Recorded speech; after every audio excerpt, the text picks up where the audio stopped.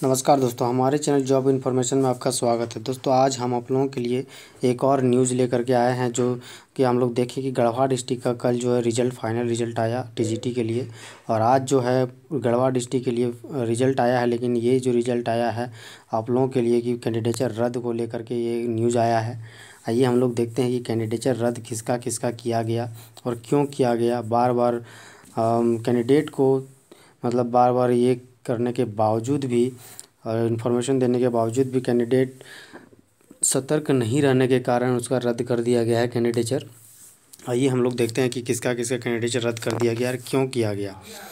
देखिए roll number दिया हुआ है यहाँ पर और ये है जीव विज्ञान बायोलॉजी के लिए और सीधी भर्ती होने को तो अब जीव विज्ञान रसायन शास्त्र के लिए और इसका नाम है मनीष सिंह, एक जनवरी पचासी इसका बर्थ है डेट ऑफ़ बर्थ और देखिए ये जो है दिनांक छब्बीस दस दो हज़ार अठारह से दो ग्यारह दो हज़ार अठारह तक निर्धारित प्रमाण पत्रों के प्रारंभिक सत्यापन के कार्यक्रम में अनुपस्थित रहे हैं। देखिए, अनुपस्थित अभ्यर्थियों के लिए अंतिम रूप से सोलह ग्यारह दो हज़ार अठारह प्रमाण पत्र जाँच हेतु अवसर प्रदान किया गया।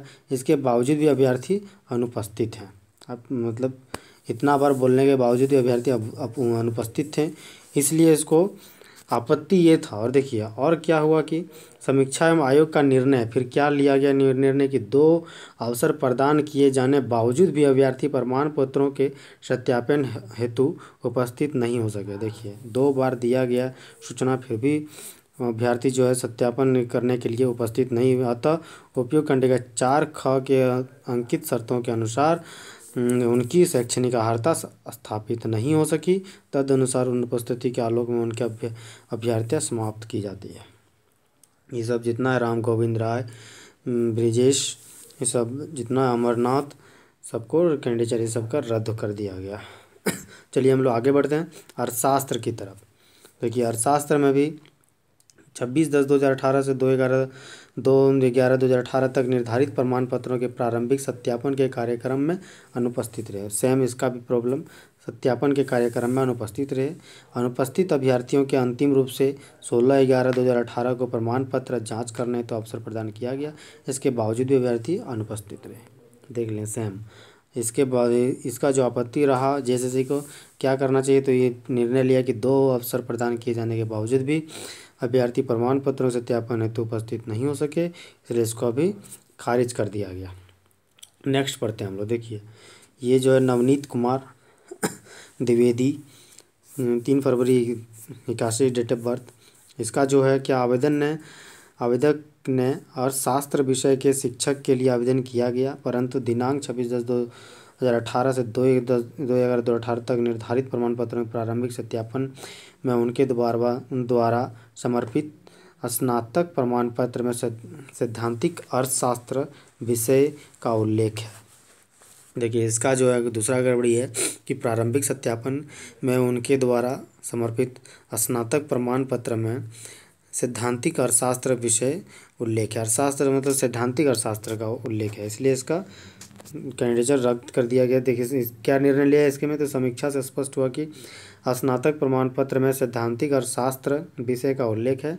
अतः इतना ख में अंकित शर्तों के आलोक में अभ्यर्थी द्वारा शैक्षणिक अर्हता के समर्थन में प्रमाण पत्र प्रस्तुत नहीं करने के कारण इस परीक्षा के लिए अयोग्य घोषित किया गया। अभ्यर्थियाँ समाप्त कर दिया गया। चलिए हम लोग नेक्स्ट देखते हैं।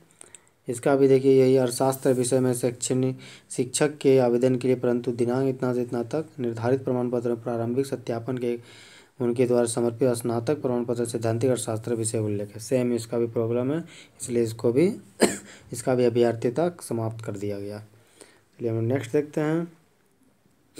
और ये देखिए प्रियंका गुप्ता का है। अभ्यर्थी द्वारा पिछड़ा वर्ग, अनुसूची टू कोटि में आवेदन किया गया, परंतु दिनांक छब्बीस दस दो हज़ार अठारह से दो ग्यारह दो हज़ार अठारह तक निर्धारित प्रमाण पत्र में प्रारंभिक सत्यापन के कार्यक्रम में उनके द्वारा दिनांक चौबीस दस दो हज़ार अठारह को अनुमंडल पदाधिकारी के स्तर से पति के आधार पर निर्गत पिछड़ा वर्ग अनुसूची टू का जाति प्रमाण पत्र समर्पित किया गया। उल्लेखनीय है कि आवेदन पत्र जमा करने की अंतिम तिथि पच्चीस चार दो हज़ार सत्रह थी। अभ्यर्थी के कारण, अभ्यर्थी के कारण परीक्षा करते हुए दिनांक आठ ग्यारह दो हज़ार अठहत्तर तक अपना पक्ष रखने का निर्देश दिया गया। तो इसमें जो है, अभ्यर्थी द्वारा स्पष्टीकरण में दिनांक दो ग्यारह दो हज़ार अठारह को अनुमंडल पदाधिकारी के स्तर पर से पिता के आधार पर निर्गित पिछड़ा वर्ग अनुसूचित टू का जाति प्रमाण पत्र समर्पित किया गया। और ये आवेदन, इस आपत्ति क्या हुआ? तो आवेदन में किए गए आरक्षण संबंधी दावे के समर्थन में आवेदन जमा करने की अंतिम तिथि पच्चीस चार दो हज़ार सत्रह तक निर्गत वैध जाति प्रमाण पत्र समर्पित नहीं करने के कारण इसको अभ्यर्था इसका भी समाप्त कर दिया गया। नहीं, इसका क्या किया कि क के आलोक में आवेदक की अभ्यर्थता अनारक्षित कोटि तक सीमित की जाती है। अनारक्षित जनरल में इसको कर दिया गया है। सॉरी इसको जनरल में कर दिया गया है प्रियंका गुप्ता को। इस तरह करके देखिए, बहुत रुचि अग्रवाल, इसका, इसको भी मतलब जन, इसकी कोटि सीमित कर दी गया इसको भी जनरल में कर दिया गया है। अब भूगोल से भी है, बहुत सारा नाम है, देखें आप लोग। और हम लोग देखते हैं किस किस सब्जेक्ट से है। देखिए, भूगोल से इतना सारा है। और देखिए ये गृह विज्ञान होम साइंस से भी है। आइए हम लोग देखिए, गणित से भी है मैथ से है। मैथ मैथ से भी है और चलिए हम लोग देखते हैं किससे है। कार्य शिक्षक उर्दू से भी है। बस इतना ही है। ठीक है दोस्तों, धन्यवाद। मैं आप लोगों को यही सूचना देना चाहता था कि आप लोगों का कैंडिडेचर रद्द हो गया। आप, और किसी किसी का नहीं भी हुआ है, आप लोग देखें किसका किसका नहीं हुआ। और J S S S dot nic dot in पर जाएँ और वहाँ से अपना नोटिफिकेशन डाउनलोड करके आप मैच कर लें कि आपका तो नहीं हुआ ना। मैच कर, धन्यवाद।